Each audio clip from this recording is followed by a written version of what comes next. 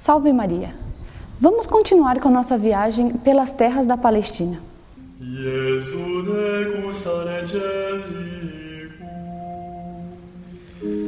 in aure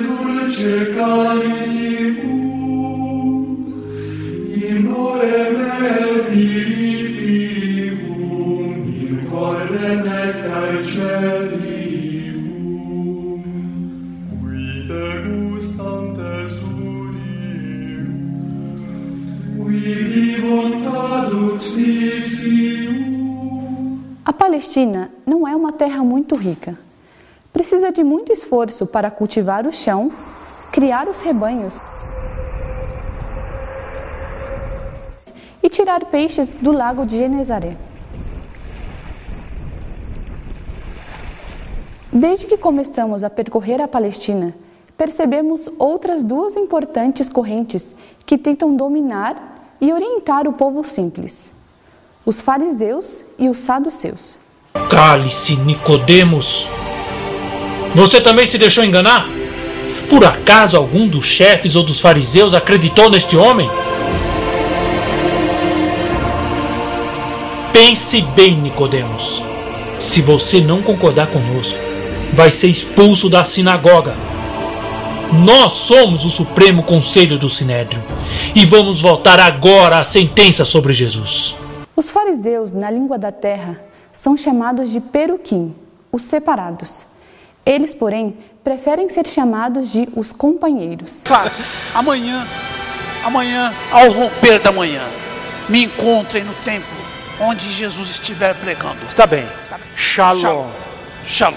Shalom. Não passam de seis mil, mas exercem grande influência.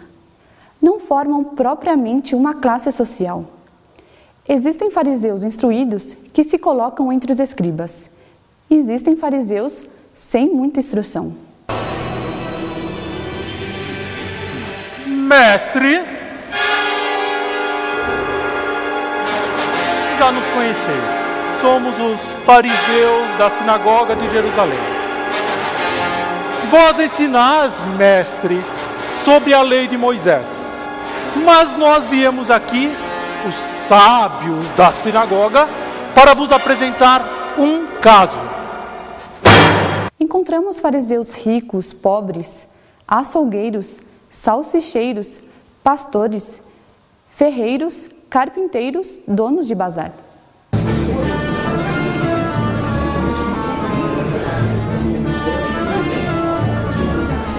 Procuramos saber por que são chamados os separados.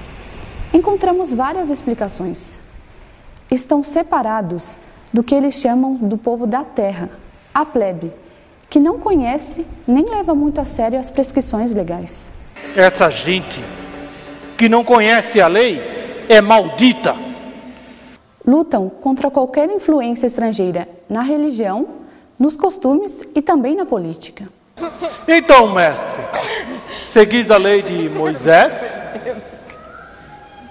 Escrevendo? Construiu o templo desviou 5 milhões de.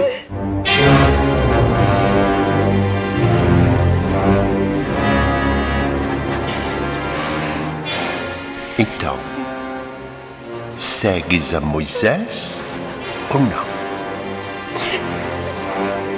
Como ele sabe tudo isso que ele está escrevendo? São rigoristas e dão uma importância imensa para a lei de Moisés e para uma infinidade de tradições que foram se formando. Mestre! É coisa A lei diz o seguinte: tens o dever de matar a culpada. Vós conheceis a Escritura. Serás o primeiro a levantar a mão, e depois todo o povo. Geralmente são fechados e olham com desprezo para os que não são companheiros. Eu creio que esse Jesus é o Messias. Não sei, não sei. Ele prega a paz, o amor entre os homens. Como fica nosso poder? Ah, você só pensa em poder e dinheiro. Ele nos ama. Amor? Esqueça, Jair, isso não existe. Você ama alguém? Deus em primeiro lugar. E nessa terra, Esther, minha esposa, e minha filha Talita, a quem eu quero mais que a luz dos meus olhos. Eu amo a mim mesmo, ao poder, à honra e ao dinheiro. Ah, então somos diferentes mesmo. Passe bem. Entre eles, há homens sinceros e piedosos, mas há também muitos hipócritas, falsos, interesseiros, de visão estreita, maldosos. Eu peço a palavra. Esse Nicodemos é uma pessoa de boa índole, mas é um medroso. Dizem que ele esteve se encontrando com o mestre, às ocultas. Quem deixou você entrar aqui em nossa reunião? Quer dizer. Quer dizer. É, quem te avisou que haveria reunião uma hora dessa da noite, Nicodemos? Por incrível que pareça, os fariseus exercem grande influência no meio do povo. Em parte, pela pressão que exerce, e em parte, por representarem a fidelidade às ideias e aos ideais da nação. Este homem está dominando o povo e vai tirar o nosso poder. Nós não podemos aceitar isso. O que faremos? Esse homem multiplica os milagres. É muito grande a influência exercida pelos sacerdotes e levitas, seus ajudantes. Eles são mais ou menos 25 mil homens a serviço do templo e da religião.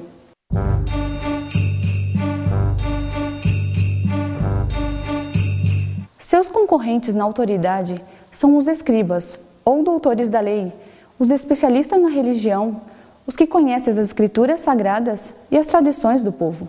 E foi confirmado. Era a lepra. Abel é um impuro. Foi excluído de seu povo.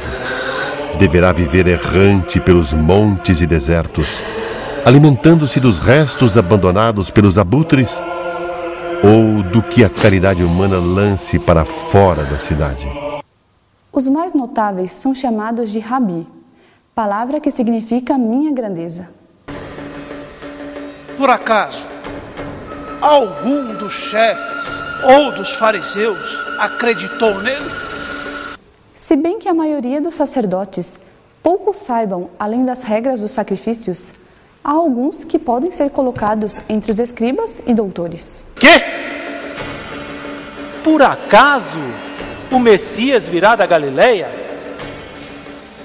Não dizem as Escrituras que o Messias será da descendência de Davi e nascerá em Belém, a cidade de Davi? Não podemos nos deixar enganar. Agora estamos na parte baixa de Jerusalém, no assim chamado Vale dos Queijeiros. Viemos descendo por ruelas cada vez mais estreitas, mais sujas e mais empinadas. De vez em quando, as ruelas se transformam em escadarias perigosas.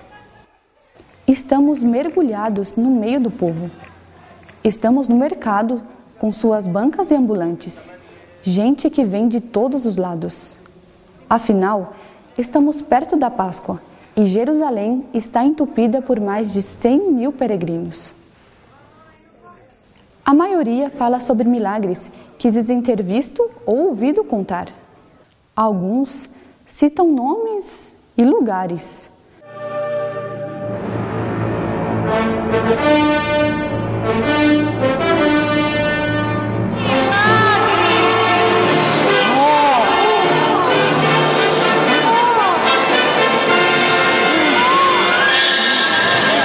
Falam sobre um cego chamado Bartimeu. Outro sobre a sogra de Simão em Cafarnaum. Talita, levante-se.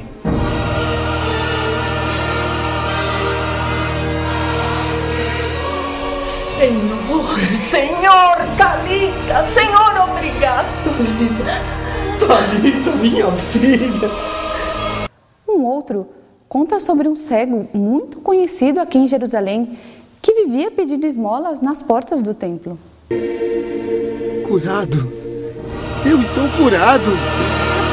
Eu estou curado! Você está curado, que maravilha, meu Deus! E o mais comentado é o caso de Lázaro de Betânia.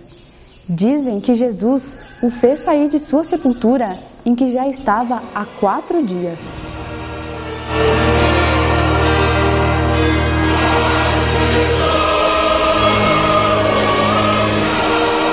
O certo é que são muitos os que acham que Jesus é o Messias prometido com o qual sonha cada um. Senhor, lembrai-vos de mim, Senhor. Senhor, lembrai-vos de mim, Senhor, lembrai-vos de mim. Quando entrardes em vosso reino.